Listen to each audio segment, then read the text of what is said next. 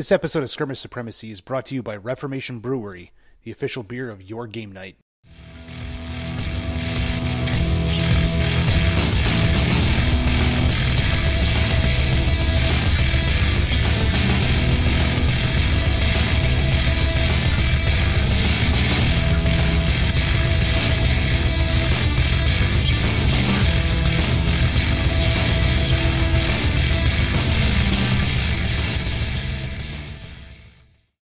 And uh, we'll just wait There for it go. to start doing stuff. There it is. It says live there on my side. It does say live. Nick, does it say live on your side? It says live. Yes. All right. Well, Mike, I believe that uh, I told you I was going to hold you up to something. You said you were going to hold me up to something. Yeah. Hold So, is what uh, you said. We we were we were going to be blessed by a uh, a freestyle rap from Mike Tunez. It's got a. I don't know. There's no. There's no beat. There's nothing. I don't know. If Yeah, can I never said I was giving you that. it's been too long of a day for me to attempt a freestyle rap right now. But, okay, um, fine. catch me on another time. I'll give you a rain check on that one. okay. So we all heard it here, folks. Mike Tunez will have a freestyle rap by the next time he comes on an episode. and for some reason, Mike never came back on the show. Yeah, just never again. Easy way out.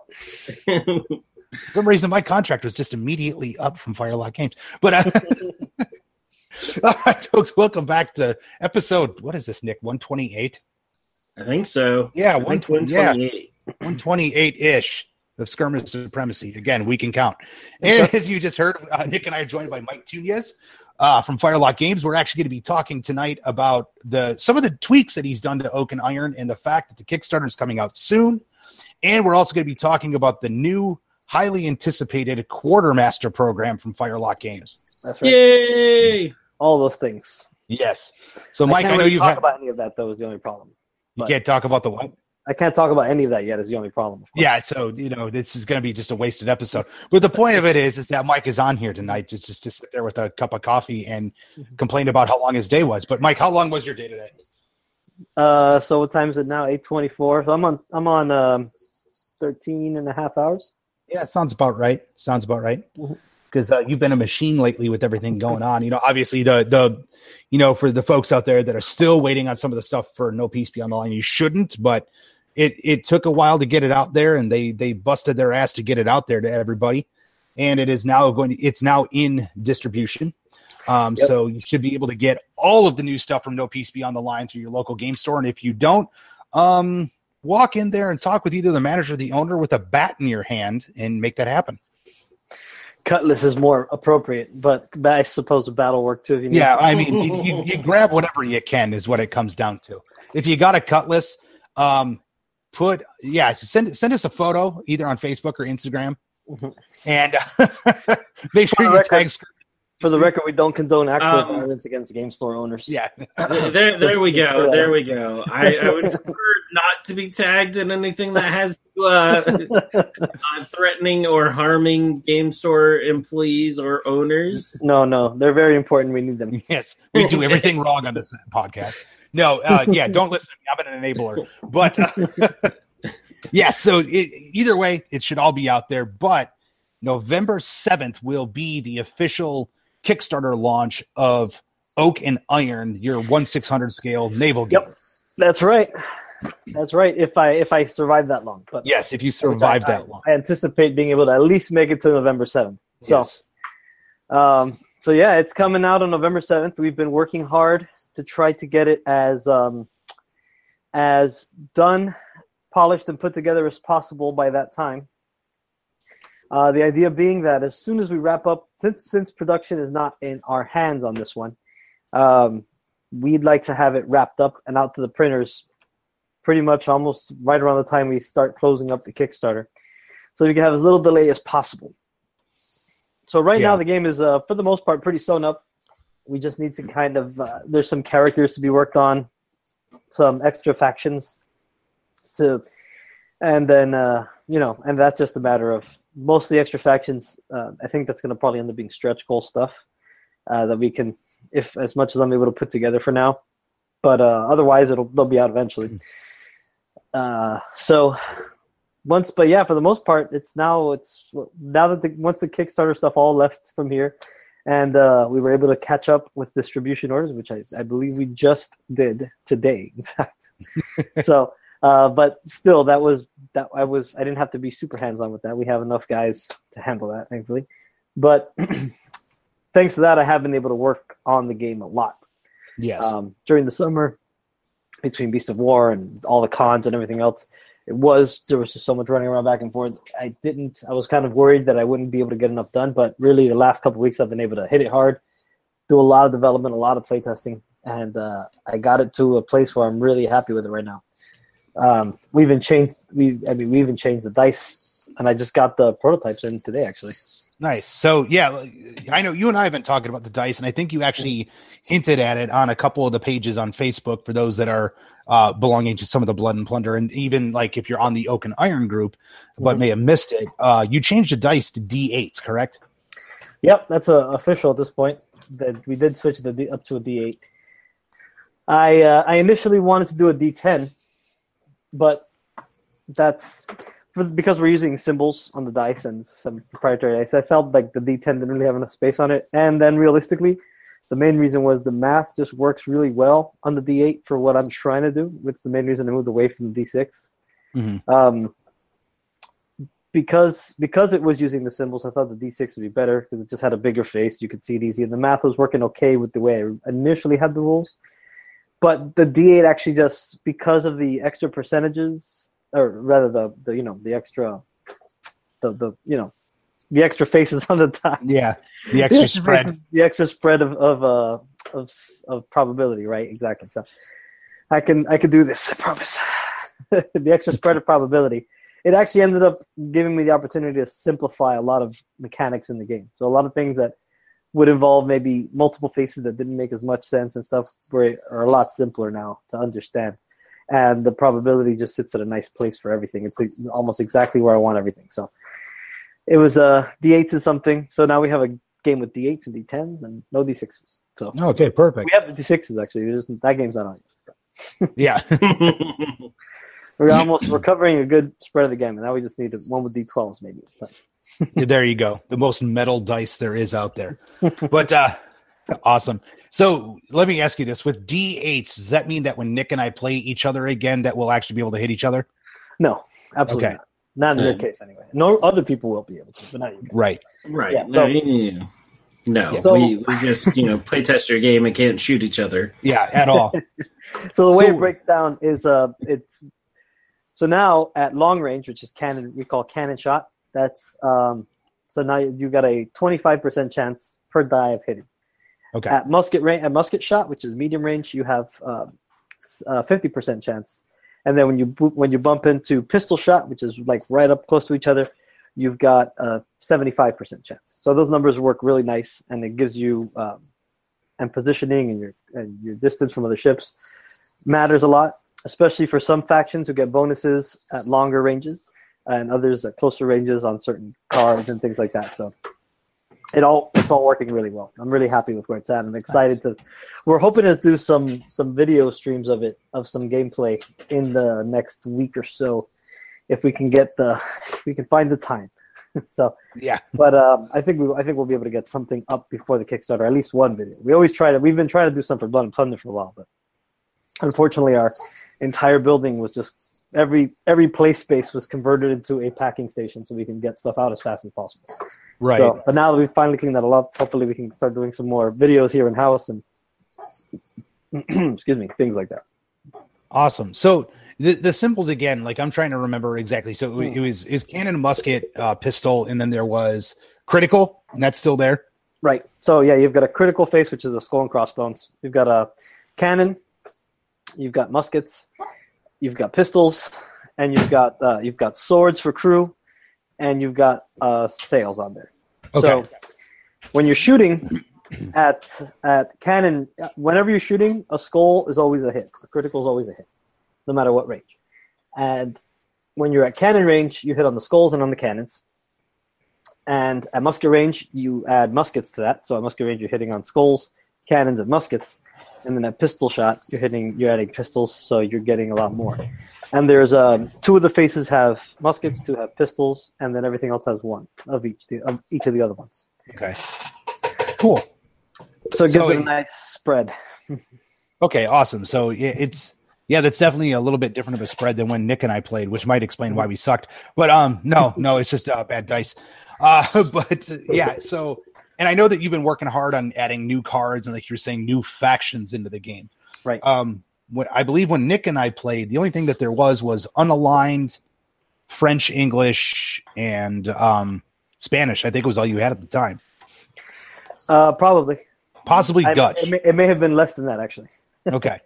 I mean, Uh, it was it was less than that since we didn't get to play it at all, but it was there. There was some outlines of it. Right. I think you guys got to play a game, didn't you? Yeah, of course Yeah, we played a remember. game. Yeah, we just sucked at it like horribly. Yeah, yeah. We just- couldn't. We could had a not do anything generic to each other the whole time. No, no. I mean, we did stuff. That's why we ended up all beat up. We just couldn't actually sink a ship. we couldn't finish anything to save our lives. Like Of course. we, we had uh, very aggressive quitters. Of course, you uh, you did really just you blew your best chance of sinking a ship when you know you were like, "All right, Nick's ship is almost dead. I'm just going to start sailing away, and I'm just to keep sailing away." I don't That's- know where I'm that's- going, but I'm just going away. That's one of the fun parts about the game. I think it's kind of like in um, in games that are that are sort of on rails like that, where you, where you're where you're moving ships and there's momentum and stuff like that, and people kind of lose track of where they're at and they start crashing into each other. It's some it's tons of fun. oh, it, it definitely was that. It was was tons of fun, especially once that ship that was almost sunk um, and should have just sailed off the map managed to get really lucky. It repaired just enough stuff that I could start shooting him again. Yeah, that's why I sailed away because I was like the way my dice were rolling. I was like, nope, not even going to bother. I'm just going to leave you sit here in the middle of the ocean. Yeah. So you guys you guys played that in what? That was in uh, NashCon actually, Ashko. yeah, which is when was that? Was that June. June. Okay. Yeah. So you guys were, that was a pretty early version because I really had it. The version, so I, ex- I kind of started experimenting with ideas around uh, March. So June was where I f- you guys had like the first version of what the game is now. But man, yeah, it's it's actually gone through quite a bit of tweaks since then. Okay. Um, it's definitely it's it's a little more bloody. It's still pretty difficult to sink a ship as it should be realistically, but it's easier to get a crew to strike out. Um, that was one of the things is that it was a little too easy to get rid of all the fatigue before when you guys played. Yeah, So I, I like- kind of, I kind of thought that was a thing because I know that like at one point, Mhm. again, I wasn't killing anything. I was successfully hitting Nick, but then like the next round, he's like, and none of my crew cares anymore. I just shot the bejesus out of like your ship. Yeah, it's a it's a much slower climb back up. You can, Okay. you can still do it, but it's much more difficult, and you're not going to come back 100. percent So, um because it fatigue was supposed to represent a mix of casualties and and uh, suppression and everything else on a ship. Right. but it was a little too easy to get rid of it once you built it up to a high level. So you can kind of take a, a beating and kind of just turn out of formation, take two turns to rally a couple times and jump back in. And that was so that's changed. That is definitely not no longer the case. Okay. Okay. All the mechanics for everything else is pretty similar, but it's um, a lot of those just little tweaks that go a long way at the end of the day. And ship classifications have stayed the same, right? Like you've got uh, the first, the first through the six uh, Yeah. ship, or first through the six shape, uh, sixth rate ships of the line, and then uh, galleons on down. And I think you said that like you're not even really touching uh, anything smaller than a sloop, and even a sloop, if you're playing against like larger ships, is just going to get blown away. for the time being yeah so one of the things that's um, one of the ways i designed it is that when you play a game you're going to set it up and there's really almost four different levels you want to play at so there's there's two main ones which is squadron which is your, your standard game. You have one squadron of ships right? So you've got anywhere between uh, three and ten ships. And then uh, but it's a single squadron right? And uh, on that level you're going to have um, if three different levels. So you've got like a small coastal raiding party, right? And that represents like buccaneers and coast guards and stuff like that. Mhm. And at that point, you're pretty limited to the you. You're definitely not taking any ships with a line in there. Uh, you could take some rated frigates, but that's about as high as you'll be able to go. So a sloop will do fine in that situation. Um, and then you'll have in the right in the middle where you can kind of take a little bit of everything. You can take maybe a third rate ship of the line and not be, uh, and still have enough ships. Uh, and then the higher rating, which is still single squadrons, but you could have bigger ships like first and second rates. Right. Then the second one is mm-hmm. fleet scale, which in, in fleet in a fleet game, you're playing three squadrons at least. So you, you each have three squadrons. And at that point you're playing on a big table and you've got at least nine ships. So that's where it stands at present with that. Okay. Cool. and did you add any new ship classifications in since the last time we talked, or is it still the same ones that they were before? No, I've got some ideas for some, but I I don't know if we're going to be able to get to them just Mm-hmm. because of the sculpting time. Yeah. Um, they will definitely be in probably after the Kickstarter. Um, one of the things we want to do with this game too is that because we can kind of just do uh, boxed expansions, then from there create um, either packs or individual blitzes of ships. We haven't we have to see how that all turns out, but we could do a lot more factions faster than we could for Blood and Plunder. Since Right. really all you need is a handful of ships and a, and some cards, and you can produce a whole new faction. Which so because of that, we wanted to take this more of a global game. So eventually, I'd love to do like Corsair, uh, Barbary Corsair ships and and uh, and fleets of the um, Indian Mogul and stuff like that. So Right. So, yeah, because again, a lot of that because of the fact that you know we're talking one six hundred scale ships compared to individual models, right? Yeah, it's it's much easier to manage and produce on that level, so you can you can jump that scale. Where if you were to try to do that with Right. Blood and Plunder right now, yeah, so in, with Blood and Plunder, we could do uh, so two models, two two sets of two units rather for Blood and Plunder would be enough to do an entire new faction of completely different types of ships in Oak and Iron. So right, that's one of the exciting things about this game is that we can do so much with um, with with minimal resources. So it's a game that we can produce alongside Blood and Plunder without compromising compromising either one. yes, that's very true. And of course, they have a tie-in, which we can hasn't been we haven't fully tested that part out yet. But that's that's one of the things I'm working on now. Soon is the tie-in.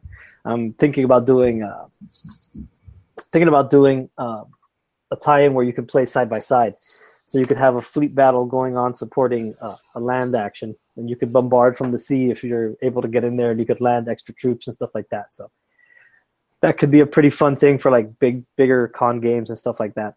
Oh yeah, especially uh, you know some of the tables that we've seen at like Siege of Augusta, Historicon, and some of the others where they're talking like these big sixteen foot long tables or whatever. like that at that point, yeah, you could be like, okay, this four by four section over here is oak and iron, and by the way, Right. everything that happens at oak and iron can affect this big twelve by six over here.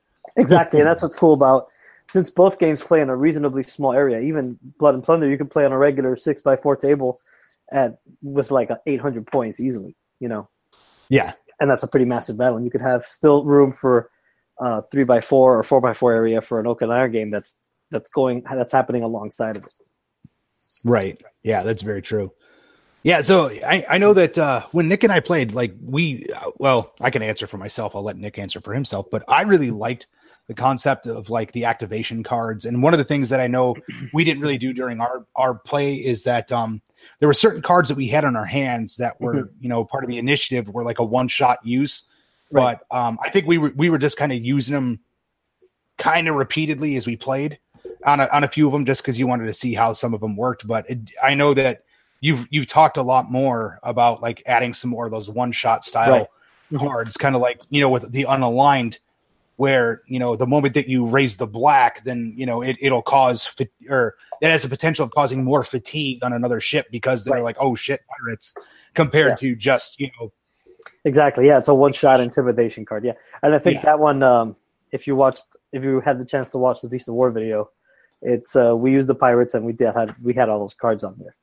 Mhm. So yeah, the pirates are really fun, and but they won't. They, the pirates will fit into the first two categories I said, where you have uh, where you Yeah. have smaller engagements. So definitely don't. You definitely don't have fleets of pirate ships engaging uh, ships of the uh, or you know naval ships of the line. They were they were not about that. That's for sure. no So- because the moment the naval ships of the line started showing up, that's when the golden age of piracy died. Yeah, it's pretty true actually. So yeah, because that that's there's a big difference between like, hey, look at this, I've got a light frigate and I'm this you know big swaggering pirate that holds like 14 guns, and the ship of the line rolls up. It's like that's cute. That's what I have that on one deck. Like,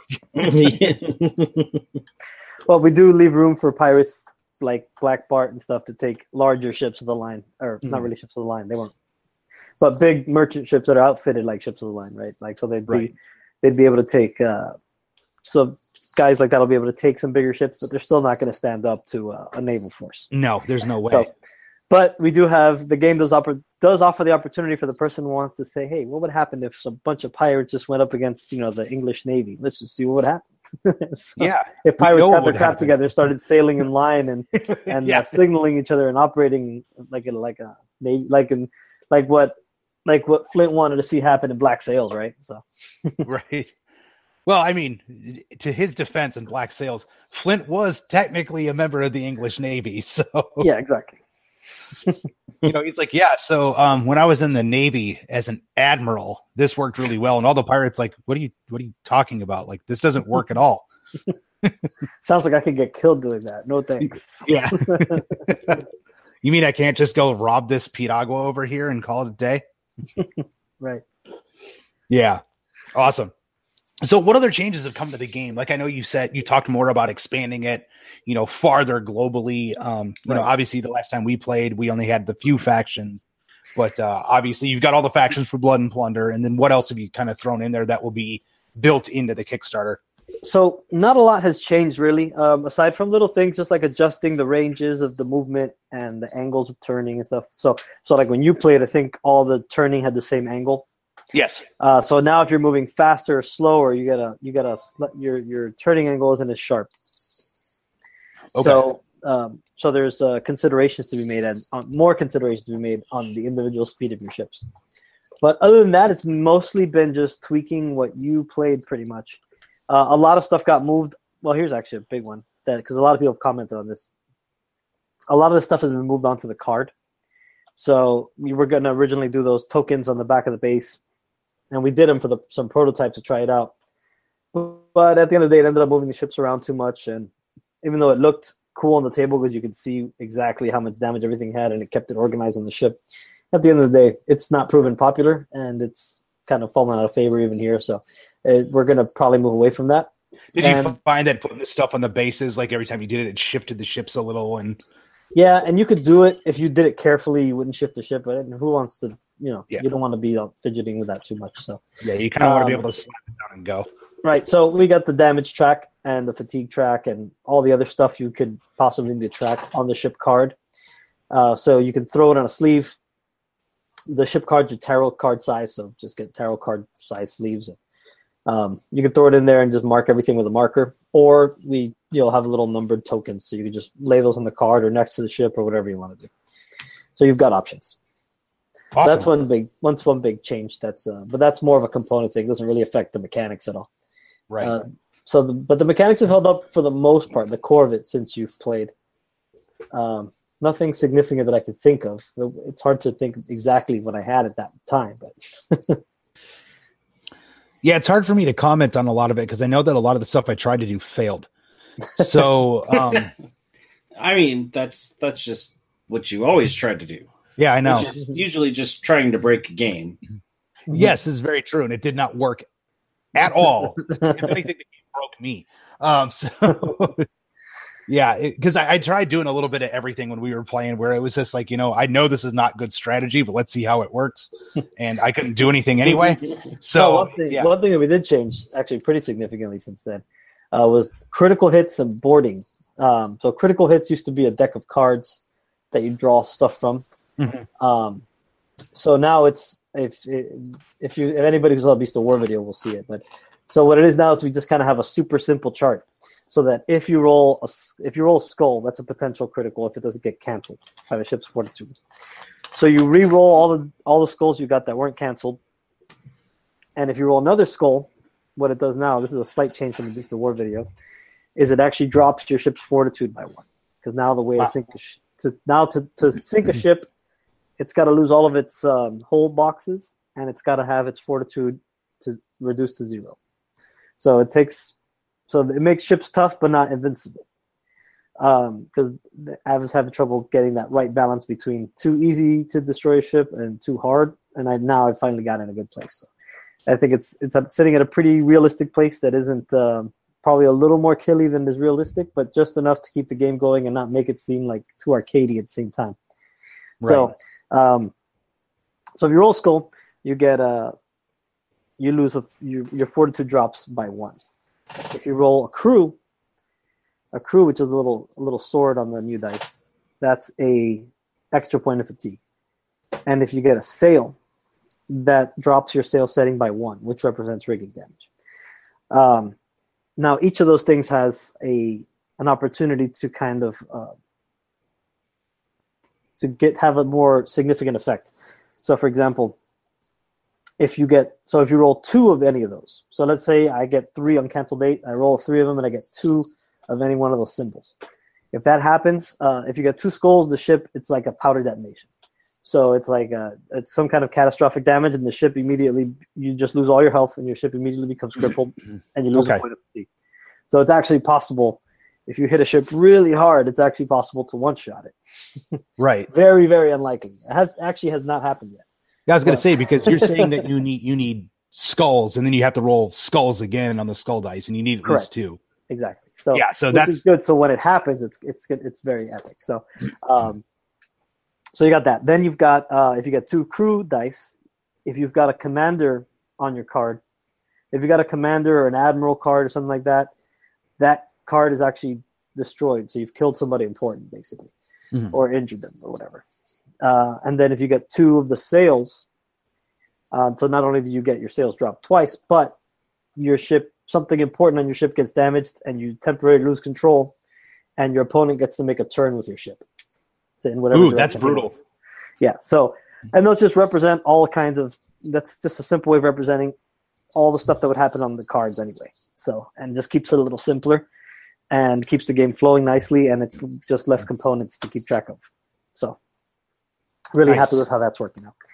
And we simplified boarding a little bit. Boarding was really dicey back and forth, and now it's just kind of like it's you just once you get into combat, you can just roll, and then every hit, which is you get a twenty five percent chance on each die, and if you hit, you cause a point of fatigue and then it gives it a little bit of back and forth because by the time you're into that range of boarding, it's unlikely you're going to knock a ship out in one boarding attempt unless you've really banged it up before. Right. I was going to say because even like a, a, ship of the line, right? Mm-hmm. There's, there's, so much crew. There's no way it's just like, oh, I board yeah. the ship. It's mine now. Yeah, because so before that was one, one of the problems I was able to fix. So if you had a if you had a pretty banged up galleon, you could say, or let's say a first rate, right? if it was banged up just enough, you could sail a sloop right up to it and just take it over. It's not not so simple anymore. right. Because that sloop's going to face hell to get there. yeah, it's, yeah. It's probably not going to get there. But well, it depends. If you're playing against me, I'll miss that sloop with every shot, and you'll just take it in one. yeah, well, but, that's uh, true. If you, if you, just can't hit him, that's a different story, of course. It's like you just got Korkleskied. But uh, so awesome, and then uh, obviously new cards, uh, new new tactics. Uh, right. So overall, like with all of the cards combined, how much are we talking about in that Kickstarter for those that go all in on everything? Oh, that's hard to say right now. So I've got a count somewhere. Uh, I could probably pull it up and look for it, but it's going to take. Uh, yeah. It's going to be so. If we're able to get all the factions that I'd like to do, let's see. So you're probably looking at roughly at least five cards per faction plus five generic cards. Um, five, 10, so 30 or so. Okay. 30 or so. It could go as high as 50 something. And that's just for the uh, initiative cards. The initiative right. cards, and that's one of my favorite parts of the game because that is that's kind of like the heart and soul of it for the most part because that's really it really focuses on what the game's about, which is an admiral's kind of perspective of the game. A lot of games, a lot of sailing games I've played, or have even looked into, not necessarily played every time, but it seems like the focus is almost like you're trying to be every captain at once, and right. of every ship, and you're you're dealing with a lot of sailing minutia that um, that an admiral is not going to be concerned with. He's going to be more focused on ship's position in line and they're general facing to the wind, whether they're windward or or um, whether they're windward or, or or sailing uh, with the wind, sailing large, essentially, as we call it in the game. Not technically the right term, but whatever, close enough. The um, excuse me, the so the cards represent an admiral meeting with his captains, creating a battle plan, and because you get to build that hand, every single card in that hand is there's no there's no like card that you always have to take. You can use whatever card you want. Is you just you can't take two of the same more than two of the same initiative value. So it gives you some limitations on how you build it. But all the cards that are either generic or available to your faction, you can use and build it however you want. So you've got some flexibility, and your opponent doesn't know what those cards are, so he doesn't necessarily know what your plans are, what, what you're capable of. Right. So you've executed them, and then some of them are one shots, like you talked about before, and that to me just really adds that that and that represents planning, signaling, uh, coordination, training, all kinds of stuff that in, in a kind of neat abstract package that really gets, I think, the idea across and a lot of national flavor is packed into those cards because certain so certain faction, factions favored long range cannonading over boarding or vice versa you're going to see that reflected in their national cards. And it really lets you and because they're always played a turn delayed it kind of just represents kind of the chaos of battle and the delay of trying to communicate across the smoke and fog and everything that's happening. So to me it's really what sets the game apart from other sailing games more than anything is that it really just kind of drives uh, that idea of being the admiral of the fleet home. Right. Yeah, and I, I, that was one of the things I definitely liked because um, after after we talked a little bit at NashCon, I, I kind of looked in some into some of the older sailing games, and a lot of them to me felt more kind of like classic BattleTech with a ship instead of a mech. yeah, that's like that, yeah. that. That's I know that sounds very generic, but it was the probably the best summary I could come up with. Right, which is which is great. The problem with a lot of those games is that it really makes it difficult to run more than two ships at a time. Yes, and yes. and to me, we so when I initially set out to make this game, I had a lot. I was like, okay, this game's gonna be focused on sailing, mm-hmm. so I want to, uh, or on the ships rather. Unlike Blood and Plunder, which is a you know a 50-50 split, so I want to put more sailing detail into this. But then when I kind of played it and started thinking about it, I was like, realistically, Blood and Plunder kind of already covers this, this kind of right. combat. You can easily run two ships in Blood and Plunder, and and there's a lot, and it and it's going to be a lot more immersive experience because you're managing your crew and you're doing, you're maneuvering on the table and you're doing a lot of a lot more in-depth stuff that a captain is thinking about. Right, it puts really puts you in the captain's chair. Yes. Um, or seat or perspective, whatever. So whereas so I that's what made me realize. Well, I don't, you know, this I don't want to just make blood and plunder with smaller ships, right? Uh, I, am trying to do some. I want to do something different that conveys more of a fleet battle, which is the idea. It's kind of like more, if you not that it's, not that it's blood and plunder like epic, but it is. That that's almost the spirit behind it, if you will. Even though it's yeah. really, it's really a different game. That they do share obviously some common concepts, and they will have some tie-in, but they are two separate games too. Right. Awesome. So Kickstarter goes live November 7th. Now, there's something that goes live on Monday that we also wanted to talk about, which right. is Mike. The Quartermaster program. Yay. So, the Quartermaster program is our um, our volunteer program for people who are excited about the game and want to get more people involved, especially locally. Um, and it's our opportunity to work together with people like that to reward them for for um, spending time and giving back to the game community. Um, so what that's going to detail is basically we're going to so traditionally these types of programs have been all about running stuff at stores. And we definitely want to push that. That's a super important component of this. But we also wanted to take a little bit further. And a lot of places a lot of people don't have they that a lot of people that are really excited about blood and plunder may just have a couple friends they play with and they don't really have a local game store near them. Or maybe not one that's interested in supporting blood and plunder at least not yet. So uh, the idea here is that if you want to do uh, battle reports online uh, hobby guides like videos on how to paint and how to rig ships or things like that. So it's it's not just it's not just the presence in the store but also in the online community which i think these days is is almost as important right? They kind of build on each other these days. Yeah. because if you're you know if you're a local store and there's a bunch of cool web content out that's getting people excited about a game that's going to at the end of the day help you move that game and get that product going in your store so to me it all ties together so we're going to have the opportunity for people to, to support the game and be involved in different ways and they'll be rewarded for doing so with some free product um, and um, this is also going to tie in with our organized play and our tournament system all of which will follow shortly after we start the program. So when we start, we're going to do it. excuse me, we're going to have it limited. We're probably going to keep it to about 25, 20, 25 people for the first go, uh, just to make sure we didn't overlook something. You know, we've never run something like this. So we don't want to overwhelm ourselves. We want to make sure we keep it, we want to make sure it works. So we're going to get, we're going to select a few people, and this will run till the end of the year and then come January, we'll we're going to open it up to more people after we're sure that it's working right. Right. Awesome. So yeah, it's something I know you and I have talked about, you know, a little bit here and there on the side, but now that it's mm-hmm. official, we could talk about it out in the open and say, yes, right. Monday it starts. right. Um, so with the breakdown on everything, um, because I've got the, I kind of went through the packet a little bit. So like.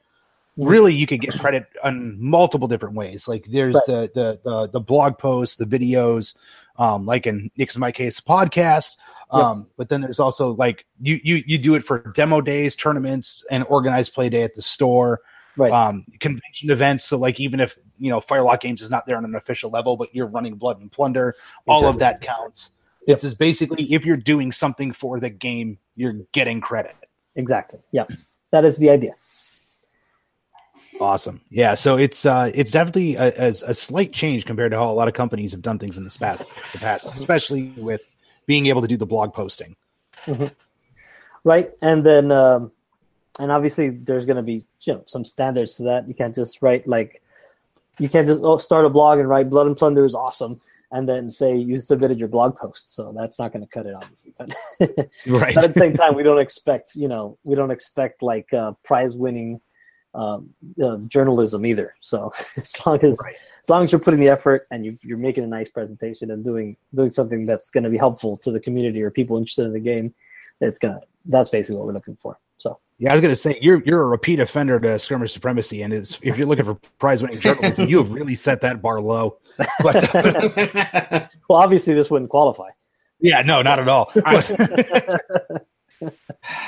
yeah, I know professionally unprofessional, folks. Sam, you're fired. Yeah, just there. Yeah. The quality of the podcast just went up. Exactly. awesome. And then I know you got, you know, obviously with mentioning quartermasters and like, you know, we already kind of have the 20 to 25 people that'll be involved in this to make sure that it, that it gets fine tuned and is working and everything like that. Mm-hmm. Um, are you going to start rolling that out like a little bit this weekend? Like I know you're going to Crucible, and then you have a couple other traveling things going on. Um. So no, the so we're gonna kind of roll the program out. Then probably in a couple weeks we're gonna let release the tournament packet. Okay. Uh, and then I, I was hoping we'd have the organized play stuff ready by the end of this year, but I don't think it's gonna happen at this point just because there's so much printed components that go with it, and there's painting from new models and stuff like that that goes into it that hasn't really been totally done yet. So um, once that stuff's all done, I think at this point, be first sometime in the early first quarter of next year, we should see that roll out. But uh, but it is coming, and and uh, it's going to be, and I'm excited about it. I think it's going to be really cool, and it's all going to tie in with everything else. And I think it's really exciting time to be getting into Blood and Plunder, or just to be playing Blood and Plunder if you are. So, and especially now with, uh, and another thing we're going to start soon is some of our crowdfunding for local crowdfunding on our website uh, for some new units. So, right. just once we hit a certain amount, I believe, don't quote me on this, but I believe it's a hundred. I think we need to get a hundred to a hundred individual blisters pre-ordered or pledged for, I guess on the thing, and then we say go, and the sculptor starts sculpting, and once he's done, we'll have the we'll have the molds, and then that's um, turnaround time should not be anything like a typical one year Kickstarter, but more like uh, two months or so, roughly, Um, right. Maybe less, maybe more. Just depends on the difficulty of getting the sculpts done. The pikemen should be pretty straightforward since it's using a lot of assets we already have, like the pikes and uh, or the lances for lanceros, because that's how they'll be armed. Um, we'll have it. No, no, no, no. I want, I want the the either the Jewish or the Scottish militia first. But we already have that. Well, you have counts as. I want their own personal models. We got to do first. We're gonna do the ones that don't have models in the pictures, just have drawings or no picture at all. Some of the characters. Then, then, then we can start looking into other things too. But uh, first, we got to cover those the ones that have no model choices at all.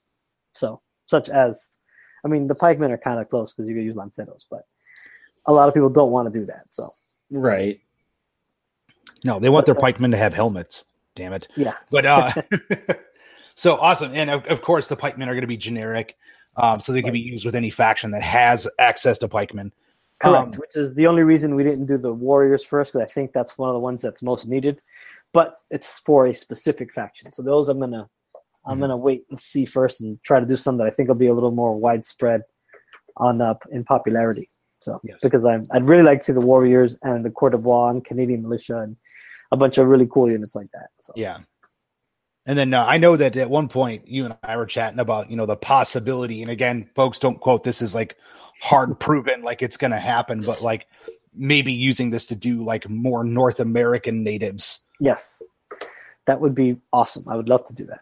But um, again, it just depends on how popular the program goes. I mean, if we get this sucker funded in the first day or something, that's going to be great. And then, yeah, then that's I would signal that as a major success for the program, and you can just uh, we'll just start pumping stuff out. There's no reason to stop at that point. So, right, exactly. You know, at that point, you're like, well, okay, damn it, let's just do the Warriors next week.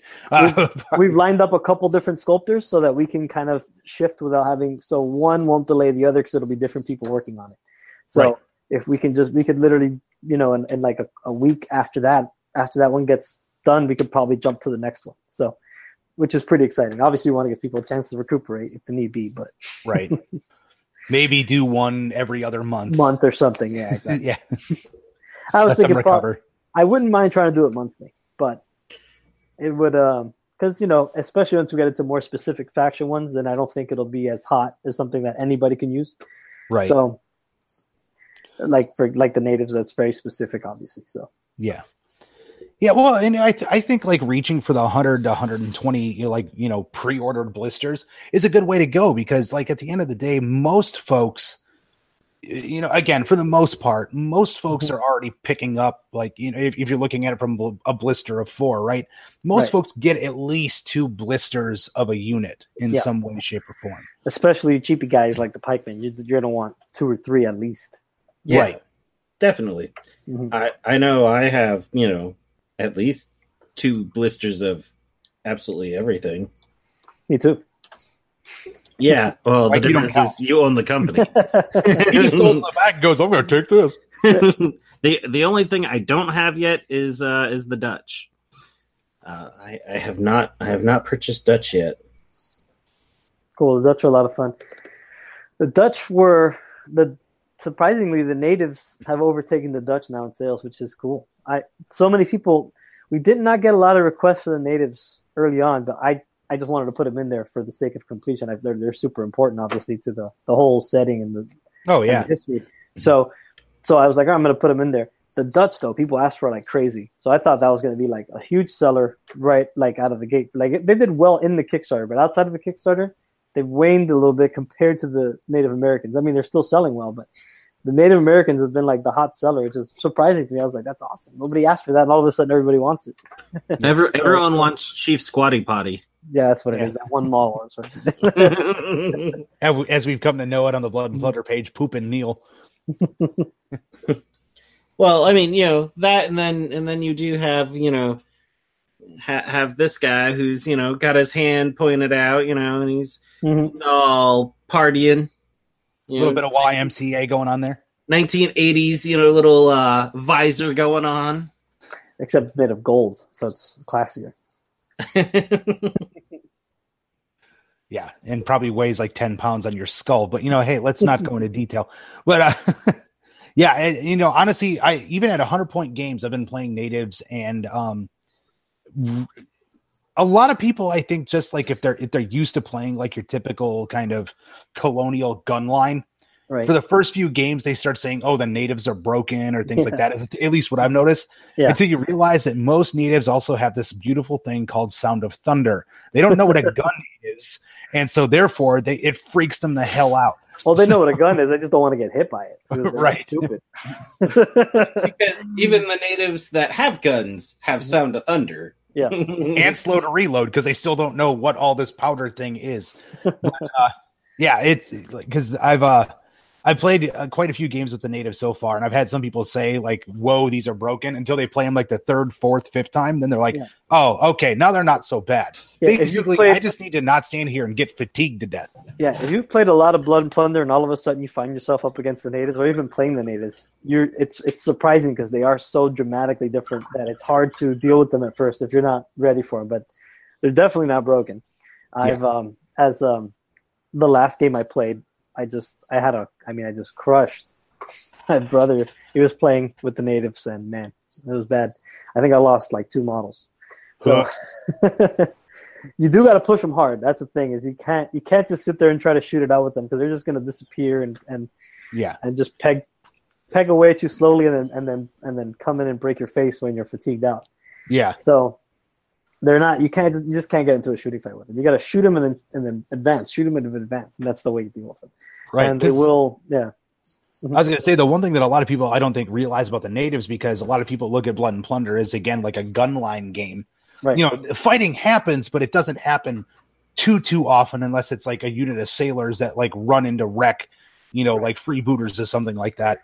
Yeah. Um, but natives, their their fight defense, like their fight's pretty good, but their fight defense is like an eight. Yeah. So like hitting them in melee combat, they melt. Yep. They did not like to fight in those prolonged. They like to they like to strike. They like to strike you hard and then disappear. Right. or hit you when you're down and just finish you off. But they were not interested in prolonged fighting. That's that was not to their advantage. So Yes. Even though they knew the lay, lay of the land and everything else, getting caught in it is a different story altogether. right, yeah, which is why which is why they're they're tricky too. There's some uh, I don't know if it came out this week, but because we did some extra videos with Beast of War, but there was one where the, Justin came up on Kai, and he was like, "All right, I finally got him." Kai just shoot him to pieces. He's trying to fight him. He's like, "All right, I'm going to charge him," and then he charges him, and Kai just backs away. He's like, "No, I'm good. I'm not, not going to fight you right now." so that's one of like that, that's one of my favorite rules. That's just The natives that cunning where they're like, nope, just back off. And they just they're like, "Yeah, no, I don't want to do that. Let's go ahead and back up a little bit." that's awesome. Oh man, yeah. So I mean, overall, like all all the new stuff, like I haven't received a lot of mine yet. Uh, but I know Nick has. So like the Mhm. flute, ha- Nick, have you had a chance to play a game with the flute yet and like really see what that thing can do? No, no. I uh I broke it out for a game. I, I gave a you know I went and gave uh, some demos and I was uh I was playing on this island and I had the flute sitting off of it. Um The thing to remember about the flute is that if you're on the poop deck, you actually on most ships you're shooting down from a height advantage. mm, That's one of the biggest advantages of the flute. And then if you could throw, if you slap some fighting tops on there, which by the way, I'm going to have some. That's a new thing coming soon. That'll be on the website. Is some. Uh, if I have my sample here. Let's see. Uh, no, I think I put it somewhere else. Anyway, it's uh, it's a nice little two piece fighting top. So if you have an existing rig, you can just kind of pop it right into what's there and take it off if you're not going to use it. Okay, So- good. That that was actually going to be my question. Is that something that you could just like slide on there or slide Yep. off? So that okay, Mm-hmm. So you put a fighting top on there, and you get the poop deck. You can actually do a lot of shooting down at people, which is always good. Take away that that cover bonus that ships give you. right? Really wreck people coming at you in canoes and boats. Yes, like natives. Yeah, because natives on a, a, a fleet of canoe by natives like boarding your boat usually ends in bad times it's pretty difficult to deal with. Yeah, I will say that it's it's those are some of the funner games we would, we got through in playtesting. So it's fun. We did uh, I think we did like a 600 point game. Just like let's try something crazy high, and then we just did a galleon against a fleet of piraguas and canoes, and I, it was me plus playing with John. I think I sank two piraguas and like three canoes, but he still boarded me and got me because he had that many. he's had that many guys left. You're just like, ah, victory! Damn it! I've got I've got this bad guy, bad boy to work on. Oh, the football. no, no, no, no. The flute would be a football. This this is this is a whole lot more than a football. How you liking the model? I uh I like the model. It is absolutely massive. There is a ton of cannons on it, and for uh, all of you people who can't see what I'm holding up to the camera, it's it's the galleon. Yeah, that's right. This is not typically a video thing. Yes, right, right. So so I'm holding up the galleon, now. and this thing is absolutely massive. Um, I it looks it looks bigger than you from this perspective. I I mean, you know, hold it up, and it's it is you know from from end to end, it's it's bigger across than my chest. So it's about two feet. Yeah, yeah. You know, it's it is a big ship. Um, I think the in- most interesting part is that it doesn't have any any cannons other than the ones that you just you mount straight to the hull. Yeah. And it's a good is, thing and it's a good thing I did that too, because when I, I said, let me, this is going to be tricky to cast. Last thing we need is more stuff to get hung up on. So, oh no, definitely, I I could I could believe that all day.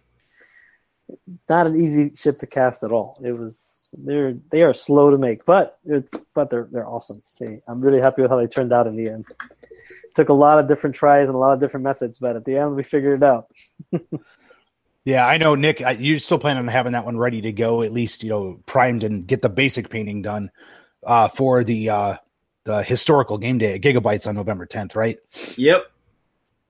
Sweet. That will be a good showpiece for sure. It always draws a crowd whenever it's out. Yeah. Oh yeah, yeah. No, it was uh, it was funny the the day I bought it at Gigabytes. You know, after I I kind of committed to having a stupid galleon. um, you know, I I I brought it out and I set it on the table, and you know, there's even some people who are interested in the game, except for they're like, oh, but it's a pirate game, and I don't like pirates, and and they're like, but I do like that ship. it's not a pirate game technically. That's just what the marketing people want to tell you. Yeah, I know, and that's that's what I keep telling them. I'm like, you can play all of these factions that I'm like, there's really only a very minor amount. Everyone else was privateers. It was legal. Right. or in, you could even play the, you know, the pirate hunters who may once have been pirates themselves, but, you know, they, they, even, in, just... even in the game presently, pirates and privateers are actually outnumbered by uh, conventional and militia forces. Yeah. No, well, that, I know. And, and that's what, that I, that's what I keep oh, telling but you know, they they really are just you know trying not to get into another game. I'm slowly wearing them away. And this week, you mentioning Barbary pirates and U.S. Uh, Navy and Marines, you know, he was like, hmm. Yeah, I I've always told um, I've always told people that I feel like there's a lot of I feel like there's a lot of especially historical gamers that kind of just scoff at anything because it's got because it's a uh, pirate related.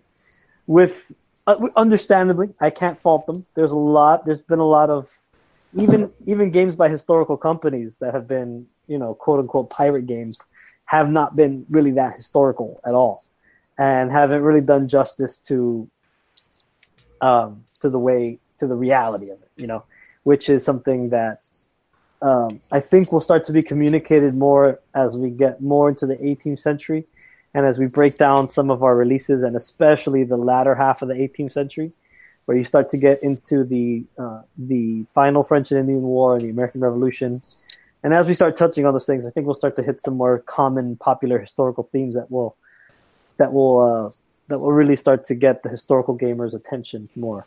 Right. Because we've even kind of heard that even from the, the, the folks that are in Blood and Plunder now, they're like, "Oh, well, where's Anne Bonny and Mary Read?" And we're like, "Well, yeah we're not quite to that point yet. yes, I've we have the common problem of we're not piratey enough for some people, and we're too piratey for others. yes. We walk the middle line too well. Yeah. Which that's that's what I'm here to do to dispel that rumor. It is we we hit we're doing all those things, and we're giving them the proper we're giving them the proper uh, representation. Historical accuracy is and tactics, especially historical tactics, are rewarded in Blood and Plunder, which is always the goal of a historical game. And if you, but at the same time, if you just want to sit around with your friends and say yar at each other and roll dice, you can totally do that too. Yeah. Yar. I mean, you know, it's just fun to do no matter what. Maybe that's why we don't get a lot of people to play Blood and Plunder. No, I'm just kidding. Um, no, it's uh, yeah, it's it's one of those it's one of those things that like I actually had a talk with uh a couple of folks over at uh, Meeple Madness the other night when I was running Blood and Plunder up there, and they were like, "Well, yeah, this is a pirate game," and I'm like, "No, actually, it's a colonial game disguised as a pirate game." Um, there's really very few pirates in the game. As a matter of fact, you only have one character in the game that is an actual, actual pirate. pirate. That's true, actually. Yeah, just one. Just one. Lots like Bre- Brethren of the Coast are not piracy. pirates. Yeah, lots of guys who are accused of piracy, especially by the Spanish or by yeah. Juan Corso. The English would call him a pirate, but he was privateer, just like yeah. the rest. Totally legal. Yeah. Although they, well, I, well, I don't know about totally legal, but you know, they had a certain amount of legality that yeah. pirates certainly did not have. right. Spain just kind of looked the other way on that one. They're like, "Oh, Juan mm-hmm. Corso again." Yeah. So anyway, were, what were we doing? They were just the Spain's more like, well, who cares? They've we're tired of all this piracy crap from the English. Let's give them a little bit of a taste of their own medicine. Yeah, yeah bend the rules a little bit, whatever. well, that and I, was you know, I was explaining it to someone at one point, and I'm like, and then you had the, you know, had those times where you know England and Spain might get along, so all of a sudden you had a bunch of people going over to you know the French colonies, going, hey, I see that you have a Spanish problem. Exactly. Yeah. I know I shot at you last week, but that was a mistake. yeah. Do you mind if I go shoot them? Will you give me a piece of paper that says I can go shoot them? Thank you. yeah. Yes, exactly. That, that so. pretty much boils it down. simple mechanics and a little bit of that old world racism. But uh, I, I, think it was uh, Blue Water Empire that I uh, that I read. Mm-hmm. you know, in there it'd be like, you know, oh, these people are getting along, these people aren't, but these people didn't get the message that these people were getting along. so they were still shooting at them until they did get the message, and then they went and talked to these people who didn't like these people, and then they just kept shooting it's, it's a long boat ride from uh, Europe to the world, so messages travel slow. Welcome to the world without internet. what do you mean we were supposed to stop shooting them? They're all dead now. Oops. Well, I guess technically it's true. We stopped shooting them now. yeah, no, I don't have any problems with them anymore. we settled it. exactly. So one of the other things I need to know too, since we're talking like flavor stuff, if I am playing the Darien and I kill Francois L'Olonnais in close combat, mm-hmm. and I say that I eat him, do I get bonuses? No. Well, they didn't actually eat anybody, so. But the other, uh, the the ones who were the ones that ate, I don't remember now. I think it was the mosquito uh, guys. But no, I mean, once he's dead, once he's once he's dead, eating him doesn't help you because I mean, the game's over. So uh, so so I, for historic, I can't people. even go for historical accuracy. So uh, so one of the one of the guys that's playing Middle Earth uh, SBG is mm-hmm. um, he uh, he's picked up a bunch of Corsairs, and so you know he was he was talking paint schemes, and he posted this one where the Corsair looks a lot like Henry Morgan, like the Captain Morgan for uh, rum, you know, you know paint scheme. And he's like oh yeah you know i, I want to you know paint him like this you know something fierce. So then i'm like oh you want fierce or you know and intimidating? Here. Here here seems more fitting for a bunch of corsairs. And i sent him L'Olonnais and he and a bunch of the other guys were just like holy shit. Yeah. He's um he's a strange guy That's for sure. he Not was fit just for regular society. misunderstood. Yeah, for his his pi- so for those of you that are wondering what we're talking about, Francois L'Olonnais was as we like to coin it the original American Psycho, and um yeah, how long did he last in like the, you know if you want to call it the heavy quotations your piracy? It was what six years total. I don't Before he was killed? Long. I don't even think that long. I, I don't recall off the top of my head. But I think it was only like I think he was only active for like two, maybe three years. Uh, he he had several close calls, and he finally, you know, met his end, Yeah, trying to sneak into Nicaragua. So yeah, and the natives actually like ripped him limb from limb in a fire pit. Well, and then burnt him, you know, just because they were like, "Oh hell no, there is no chance this dude is coming back." yeah, Um, They probably kept- peed on him too, but you know they're not going to write that back then because it's you know improper. well, no, according- actually, uh, uh, I was gonna say I, I, I thought that they uh, they burnt him, like burnt you know all of his limbs like individually, and threw the dust into the wind to get rid of it. Or So something a lot, that. of, a lot of accounts say that they roasted him and ate him in ceremonial fashion. So I Mhm. doubt they would have peed on him if they were going to eat him. So Sterilize the demon. it doesn't make sense. I don't think- Look, all I know is that they're eating another human being. They're probably like, you know what, whatever. I don't have any lemon juice. This works. But uh, anyway, yeah. So it, stuff like that, like, is, is the stuff that you know Nick and I have talked about it numerous times. Like, that's the stuff we really like about the game. And I, I think that if we could get, I guess, if you want to call it like more of the real history out there, I think it would mm-hmm. attract a lot more people to the game. You know, like really kind of, Yep. you know, and, you know, kind of going back to the quartermaster thing for the quartermasters out there, you know, doing mm-hmm. some of the research on like, you know, that truth is always stranger than fiction. Uh-huh. And where everybody, when they think pirates, they think Pirates of the Caribbean, and then like show them what it was really like Right. back then. Like H- Henry Morgan was not like some great admiral. He was more along the lines of like a privileged dude, bro. They got really lucky a lot of times. well, Henry Morgan couldn't sail for the for the life of him. He got drunk and blew up his own ship. Hey, we don't know that. It randomly exploded while he was on it. Yeah, I doubt he personally blew it up, but he certainly. I mean, it was his ship, so I guess it was his responsibility at the end of the day, right? So, exactly. um, no, but exactly. That's part of the quartermaster uh, program, or more, more specifically, um, the uh, organized play program is going to focus on a lot of that. So it's going to have it's going to be focused on history and different historical battles and events. And of course, we're going to start out with a little bit of more of a piratical one, which is the South Seas cruise of um, Dampier and Sharp and and Coxon and all those guys, uh, where they where they go. they're like, well, we can't raid in the Caribbean anymore, so let's just go to the Pacific side, and they cross Panama to try to recreate Morgan's raid, but there's nothing left in Panama, which they discover to their great sadness, and uh, then they just start cruising around South America on the on the Pacific coast, causing all kinds of mayhem. But it's a super interesting story because there's like four, three or four different guys who kept uh, really detailed logs of everything that was happening and kept journals and stuff. And uh, I know, I know, um, uh, uh, I know for sure Dampier kept a journal. I believe Sharp had an account.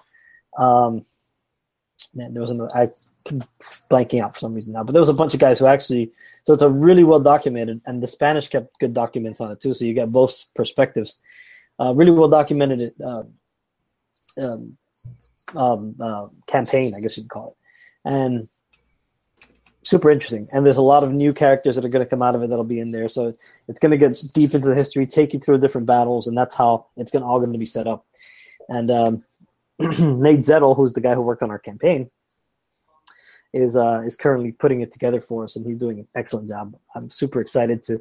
There's going to be models to represent the characters. There's going to be new cards to represent them. There's going to be a, a, a booklet with all the scenarios and everything. So we are trying to uh, illustrate that history as much as we can. And we did our first historical scenario with L'Olonnais recently. There'll be more of those coming as uh, down the pipe pretty soon. Uh, probably expect the next one uh, if I can. The, with the Oak and Iron prep for the Kickstarter, we may not get to one this month, but uh, certainly you can expect one in November. Okay, awesome. Great. Well, is there anything else you want to throw in there, Mike, before we wrap this thing up? Um, nope. Just check out uh, Oak and Iron, Oak and Iron Game.com. And if you are interested in checking it out, it's going to launch November 7th on Kickstarter, as we said. There's an opportunity there to sign up uh, for the newsletter so you can get a reminder. If you don't want to forget, get in, get in early. And uh, there's also a video that we did with Beast of War on there so you can check out the gameplay. It's a little bit of early gameplay. Excuse me a little bit of early gameplay, but it still gives you very much the idea of the game. There's not a whole lot changed. We did change from the D6 to the D8, but ultimately you could get a good feel of how the game plays and works. And, and just keep watching Firelock Games on Facebook and on our website, as we're going to be putting. We're going to try to start doing a lot more um, content locally here, uh, battle reports and things of that nature. So just keep awesome. an eye out for everything coming. Great, Nick. Anything else you want to throw on there? Um, so ev- anyone who you know is is getting into this, don't don't travel with any of your stuff. I've done it twice now, and every time I've done it, well, you know, the, that being twice, I've always gotten stopped by TSA and searched. fly a lot. I work for Delta. I, I fly a lot l- lately, and no problems other than when I have something blood and plunder related. You know, I've traveled lots with blood and plunder related stuff too, and I've never been bothered. In fact, yeah. people ask, people talk to you about it. They think it's really cool. They're like, "Hey, what are these little soldiers in your bag?" oh yeah, no, no. They, uh, you know, most most people find that interesting. Mm-hmm. Um, they just they don't like you know pirate ships in your bag for some reason. they get really interested in whatever the hell that is. I've got, I had a, I took two galleons carry on one time. I didn't get bothered at all. They didn't even care. They're like, whatever, just pass it along. I think it's, I think it's just you. I think it's something you're doing. Don't put this be. on my on our stuff. Maybe don't, don't put it on you. I mean, you know, Tim Tim can attest. You know, I, I was going through uh, in in Chicago and got stopped. What is this? It's a pirate ship. Oh, we understand that, but what is this Derringer duct taped to the bottom? exactly. Were you wearing some kind of offensive T-shirt or something? Maybe. Nope. Actually, the best part with that one was, you know, I, I said, yeah, yeah, it's the pirate ship in the bottom, and like the guy finally is like, "Yep, there is a pirate ship in the bottom," and he went to put stuff back, and people were like, "No, we've been standing here for like twenty minutes. We want to see the pirate ship." awesome. Yeah, that's uh actually I think the first time that happened to you was right when we got into the game at Adepticon. Yeah. I got through security, no problem. Then all of a sudden I noticed Nick stopped and they're going through his pirate ship. and then uh most recently I had the uh the No Peace Beyond the Line book and they're like, This is a really big book. Why are you running around with a really big book? I'm like, because it's a pirate book. You could just you could just say you're religious, and they'll just let you go. just, oh, oh, okay. I'm going to Florida. Yeah. I'm bringing a pirate book. I mean, that just seems to go hand in hand together, people. Mm-hmm. Yep. awesome. Well, folks, that's going to wrap up this episode of Skirmish Supremacy. We will see you next time. Thanks for listening to another episode of Skirmish Supremacy. To see more of the antics that Nick and I do, you can check us out on Facebook at Skirmish Supremacy we also have Twitter, which we can be reached at Skirmish Supreme, because apparently Skirmish Supremacy does not fit in Twitter. And if you want to email us directly, you can reach us at tim at skirmishsupremacy.com or nick at skirmishsupremacy.com. Thanks for listening.